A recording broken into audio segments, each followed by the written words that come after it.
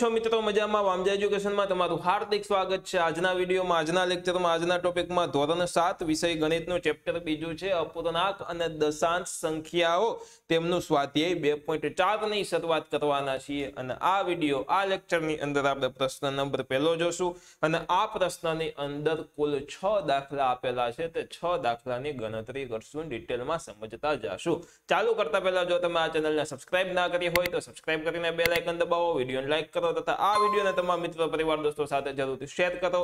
ચાલો મિત્રો આપણે આ સરસ મજાના એવા વિડીયોની શરૂઆત કરીએ. આપણી સમક્ષ આવી ચૂક્યો છે પ્રશ્ન. પ્રશ્ન સમજતા પહેલા મિત્રો આપણે કંઈક થિયરી સમજી લઈએ. ઇન્ટ્રોડક્શન એટલે કે પહેલો વીડિયો એટલે કે થિયરીના વિડીયોમાં આપણે સમજ્યા છીએ. તેમ છતાં ફરી પાછું આપણે સમજી લઈએ. શોધો. આમાં જવાબ શોધવાનું છે. શું શોધવાનું છે? તો કે આમાં જોવા ચેપ્ટરમાં પહેલી વખત ભાગાકારની ક્રિયા એવી ભાગાકાર કરવાનો છે. તો કોઈ પણ છેદવાળા ભાગાકાર કરતા પહેલા આપણે એક વસ્તુ યાદ રાખવી પડે. આપણને ખબર છે કે જ્યાં સરવાળા બાદ બાકીની વાત આવે, જ્યાં સરવાળા બાદ બાકી થતા હોય, ત્યાં આપણને ખબર છે છેદ સરખો કરવાનો. દાખલા તરીકે એકના છેદમાં બે વત્તા બેના છેદમાં ત્રણનો સરવાળો કરવાનો હોય, તો આ બંનેનો લસા લઈએ.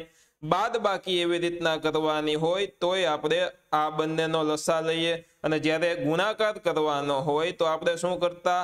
તો કે અંશનો ગુણાકાર, અંશમાં અને છેદનો ગુણાકાર, છેદમાં બે એકુ બે ના છેદમાં ત્રણ બે પરંતુ જ્યારે ભાગાકાર કરવાનો હોય ત્યારે આપણે એક વસ્તુ ધ્યાન રાખશું. જેમ કે આપણે કરવાનું છે એકના છેદમાં બે વત્તા બેના છેદમાં ત્રણ. તો ભાગાકાર કરતી વખતે ભાગાકાર વચ્ચે ભાગાકાર ભાગાકાર કરતી વખતે શું કરવાનો? તો કે ભાગાકારની નિશાનીની પછીનું જે પદ હોય તેને વ્યસ્ત કરી દેવાનું અને ભાગાકારની જગ્યાએ ગુણાકારની નિશાની મૂકી દેવાની. દાખલા તરીકે આમાં એકના છેદમાં બે બીજું પદ બે ના છેદમાં ત્રણ છે. એને ઉલટ સુલટ પ્રમાણ વ્યસ્ત કરી દેવાનું. માથું ઉપર, માથું નીચે ને પગ ઉપર. તો આમાં ત્રણ ઉપર અને બે નીચે. જો આ ત્રણ નીચે છે તો અહીંયા ઉપર લઈ લીધું અને બે ઉપર છે નીચે લઈ લીધું અને વચ્ચે ભાગાકારની જગ્યાએ ગુણાકાર કરી દેવાનો રહેશે.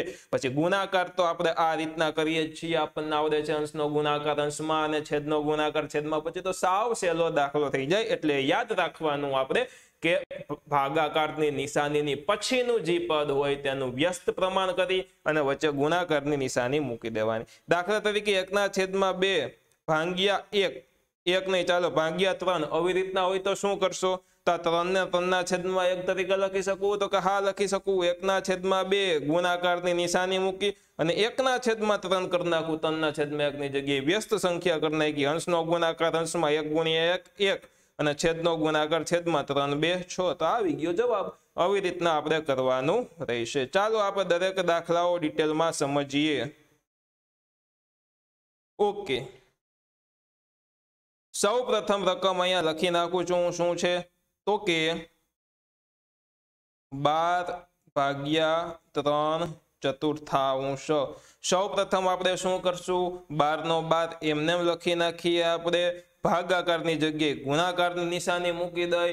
ભાગાકારની નિશાનીની પછીનું જે સ્ટેપ છે એટલે કે ત્રણ ચતુર્થાંશ છે તેનું ઉલટું કરી દઈ, વ્યસ્ત પ્રમાણ કરી દઈ. તો ચારના છેદમાં ત્રણ.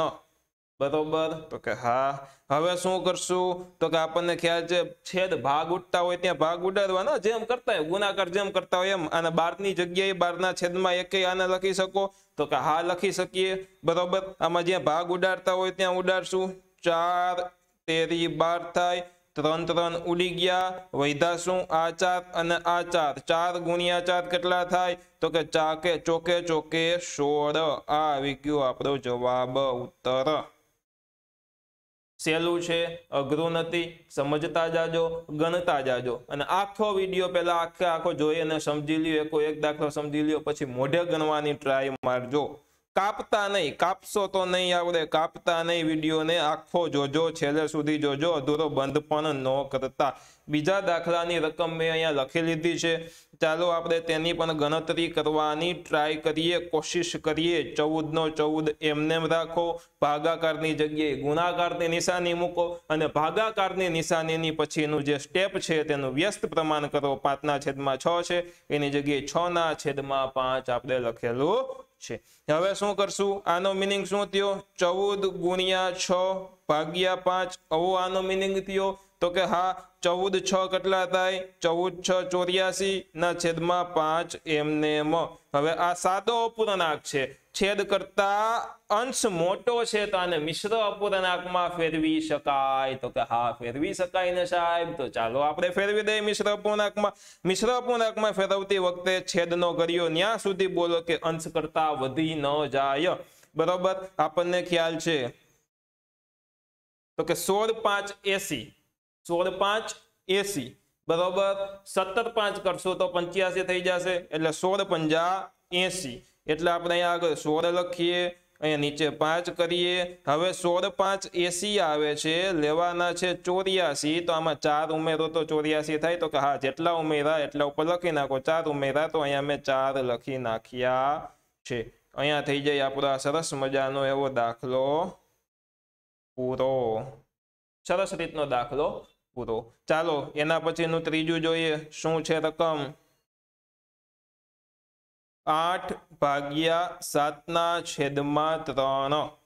ચાલો, ગણાવતા જાજો, સાથે સાથે શું કરશું? આઠનો આઠ એમને એમ ભાગાકારની જગ્યાએ, ગુણાકારની નિશાની, સાતના છેદમાં ત્રણની જગ્યાએ, ત્રણના છેદમાં સાત લખી નાખું તો કોઈને કાંઈ વાંધો? તો કે એમ જ લખવાનું હોય. ન લખો તો વાંધો પડે. લખવાનું જ હોય. હવે આ નામ લખી શકું. આઠ ગુણ્યા ત્રણના છેદમાં સાત. તો કે હા સાહેબ, લખી શકો, એમ જ લખવાનું હોય. ચાલો, આઠ તેરી કેટલા થાય? ચોવીસ ના છેદમાં સાત. છેદ નાનો છે, અંશ મોટો છે. સાદા અપૂર્ણાંકમાંથી, મિશ્ર અપૂર્ણાંકમાં ફેરવવાનું હોય, તો શું કરવાનું? છેદનો કર્યો ત્યાં સુધી બોલો કે અંશ કરતા વધી ન જાય. સાત, ત્રણ, એકવીસ. સાત ચોક અઠ્યાવીસ થઈ જાય, અઠ્યાવીસ વધી જાય એટલે ભાગ ચાલશે સાત તેરી એકવીસ. સાત અહીંયા, સાત તેરી એકવીસ એટલે ત્રણ અહીંયા, સાત તેરી આવ્યા કેટલા? એકવીસ. લઈ આવવાના કેટલા છે? ચોવીસ. તો એકવીસમાં ત્રણ ઉમેરો તો ચોવીસ થાય. તો આજે ત્રણ ઉમેરા તે અંશમાં ત્રણ લખી નાખું. ચાલો લખી નાખ્યા ત્રણ. અહીંયા સરસ મજાનો દાખલો થઈ જાય. પૂરો ફિનિશ ચાલો. ચોથો દાખલો જોઈએ. ચોથો શું છે? ચાર ભાગ્યા આઠના છેદમાં ત્રણ. શું હતું? ચાર. ભાગ્યા આઠ. આઠના છેદમાં ત્રણ. ઓકે. ચાલો જોઈએ આગળ. શું કરીશું આ બેમાં?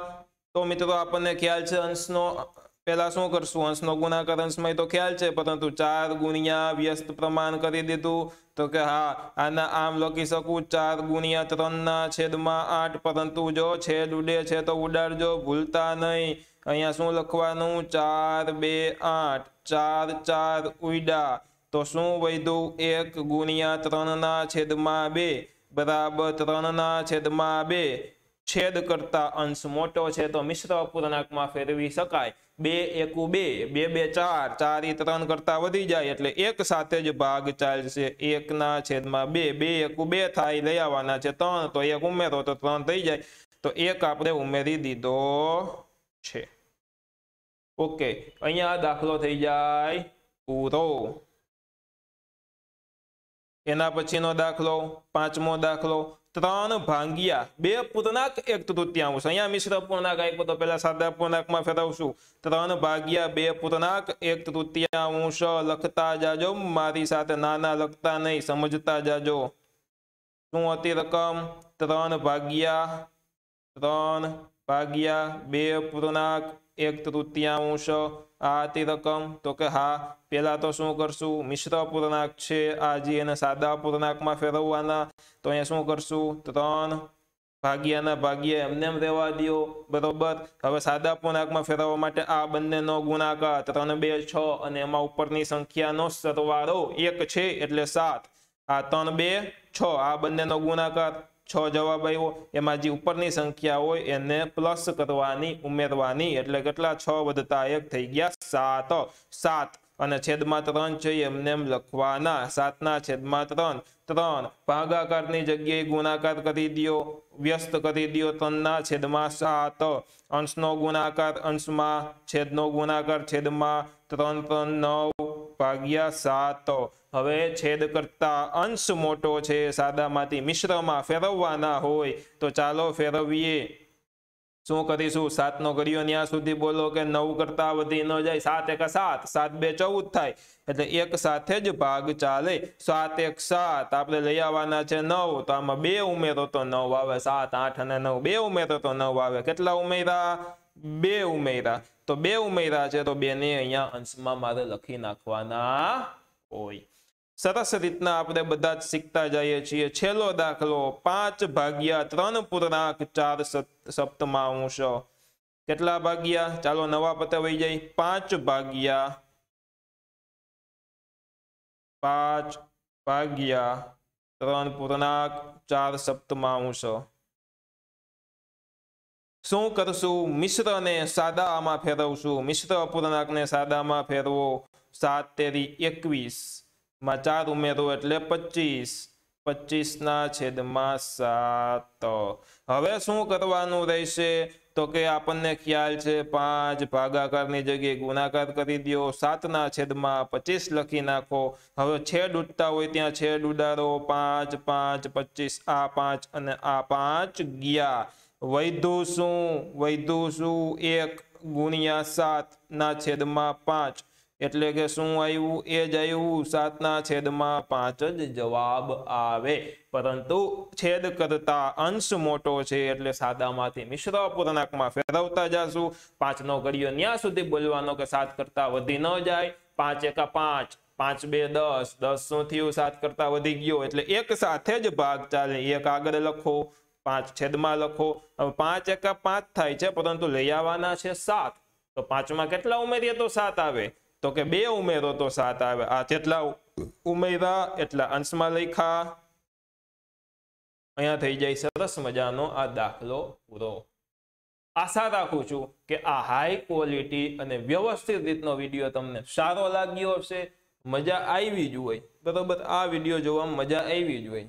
તો તમારે લાઈક કરી દેવાનો છે. ચેનલને સબસ્ક્રાઇબ નથી કરી તો સબસ્ક્રાઇબ કરીને બે લાઇકન દબાવવાની છે તથા કોમેન્ટ કરીને અમારું મનોબળ વધારવાનું છે. આવી સરસ મજાની ક્વોલિટી અમે તમને દેતા જશું સરસ મજાનું અમે તમને શીખવાડતા જશું રોજે રોજ. ફરી મળશું એક નવા વીડિયો સાથે. ફરી પધારજો બાય જય હિન્દ, વંદે આવજો. ધન્યવાદ.